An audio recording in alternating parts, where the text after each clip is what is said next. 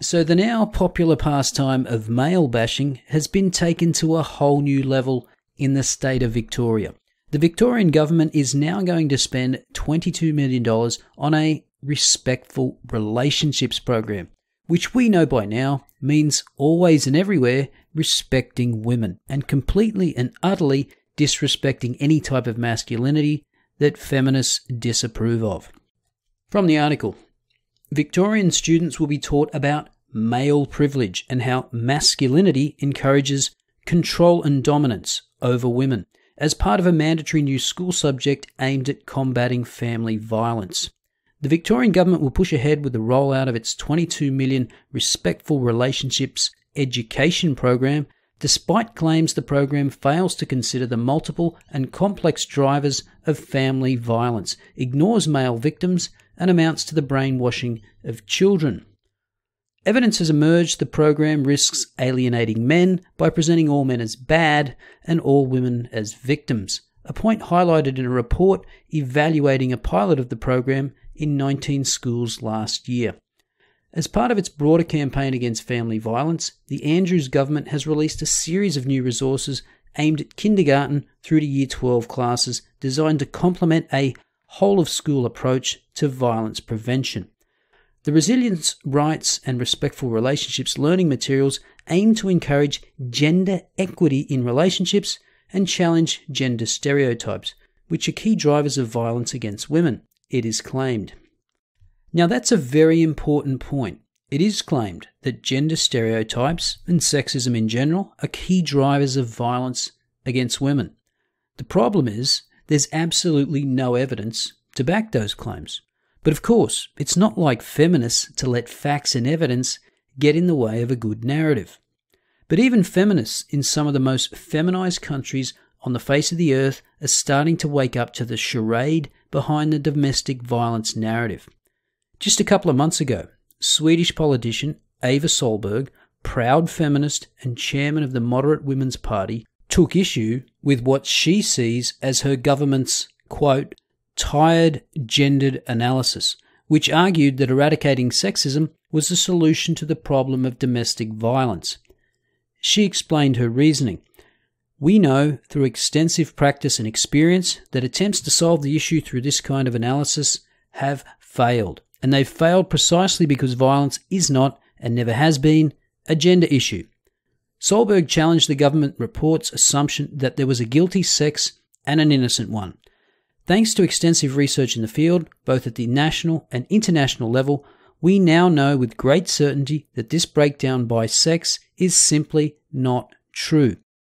She made reference to the world's largest research database on intimate partner violence, the Partner Abuse State of Knowledge Project, which summarizes more than 1,700 scientific papers on the topic.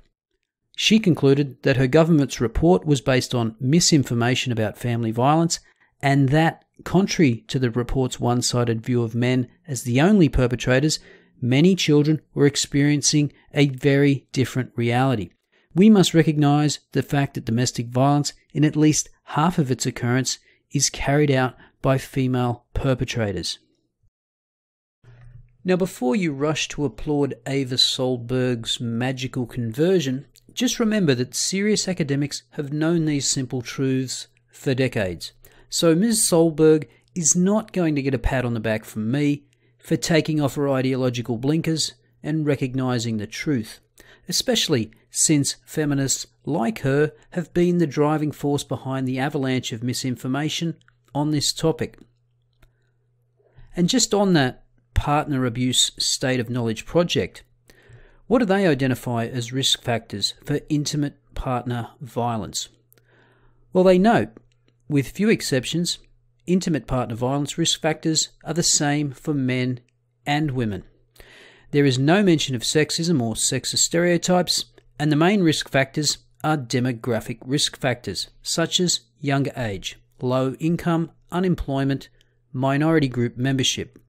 And again, this evidence has been available in Australia for some time. As Mark Latham has pointed out time and time again, quote, the New South Wales Bureau of Crime Statistics show that domestic violence is geographically concentrated in underclass areas, For every domestic incident in a middle class suburb, there are 10 in a public housing estate and 25 in a remote Indigenous community. The best solution to family violence is a new national war against poverty. But no, the Victorian government will continue to ignore the evidence and plough ahead with the war on masculinity. Back to the original article. While the program refers to gender based violence, the overriding emphasis is on men being the perpetrators of violent acts. Proposed lessons will introduce students to the concept of privilege. Well, of course it will, which is described as automatic, unearned benefits bestowed upon dominant groups based on gender, sexuality, race, or socioeconomic class. Now, notice the definition, because it's very important, not only because of who it targets, but who it intentionally excludes. Because if we're talking about unearned benefits, we would need to talk about every beneficiary of affirmative action programs, or as we label them here in Australia, positive discrimination, such as the Indigenous, such as women.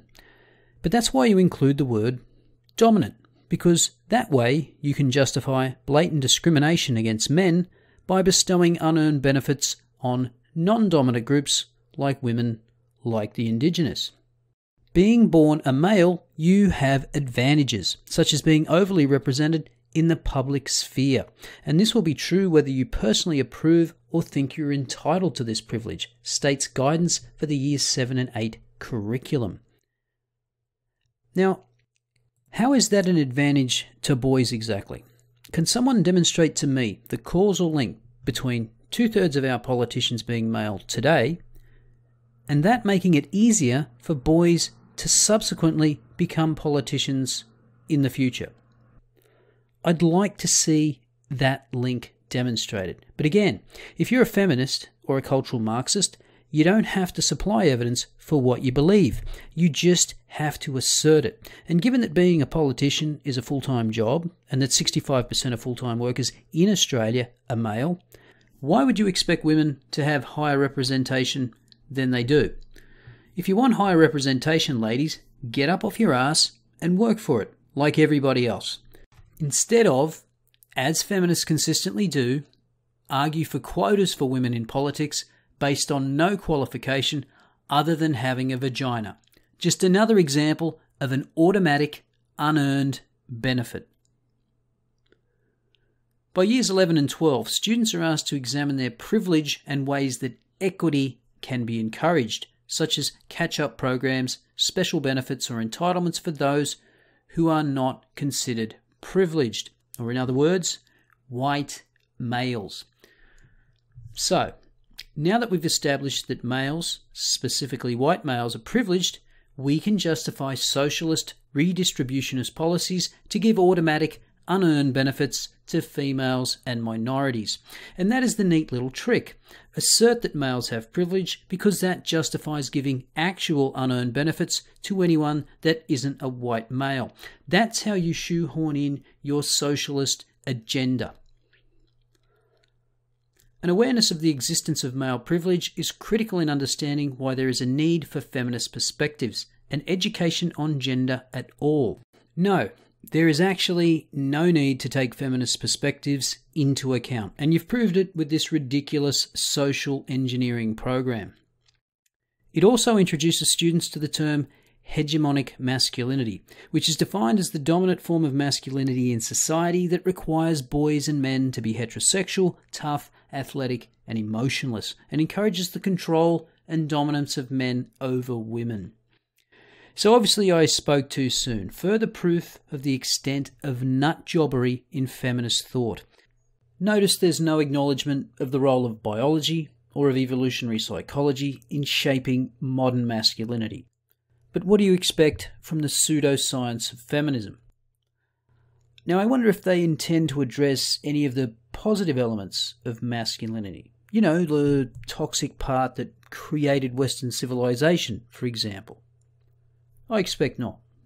Jeremy Sammut, a senior research fellow at the Centre for Independent Studies, criticised the program, calling it taxpayer funded indoctrination of children. The idea behind this program, that all men are latent abusers by nature of the discourse, is an idea that only cloistered feminist academics could love. Dr. Sammut told The Australian. A lot of evidence suggests that child abuse, domestic violence, is a byproduct of social dysfunction, welfare, drugs, family breakdown. So, if you were wondering, are there any sane individuals left in academia in Australia? The answer is yes. There still are a few. I'm going to skip ahead here a little. Hannah Grant, a spokesman for Our Watch, which managed the pilot and carried out the evaluation, acknowledged there had been tension in some schools and statistics demonstrating the gendered nature of violence often prompted challenging discussion. Hmm, I wonder why. Feedback suggested that the whole school briefing had a varied impact within and across schools, she said. Well, isn't that a very intentionally vague way of admitting there are problems? Education Minister James Merlino dismissed concerns over the program. We will not stand by while one woman in Australia is killed every week through domestic violence. It's astounding anyone could think teaching our kids about respect for other people is a bad thing. I agree. It is astounding the level of moral cowardice and disingenuous virtue signalling by our elected elites. Remember these faces because these are the public faces of a hateful movement willing to sell out the next generation of young Australian men just for the crime of being born male, so that these lying, hypocritical scumbags can remain in power. So, in my next video, I'm going to suggest ways that we can push back against this movement and potentially make it a political liability to back the social engineering policies of far left feminist whack jobs.